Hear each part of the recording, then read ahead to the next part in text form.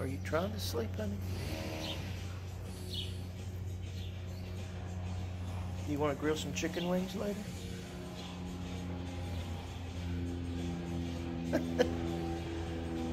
You're such a good boy. You've been a good boy all day today. Yes, I know you're tuckered, honey. I know you're tired. You worked hard today. You just sit there and sleep. Ridiculous. You know that's my chair, right? You know you're in my chair, right? You got something on your eyeball. Got to get it out. Got to clean your eyeballs again. Your nose is good though. You know me? Can I see your teeth? You smile for daddy? Can I see your teeth? Meatball. Can I see your teeth?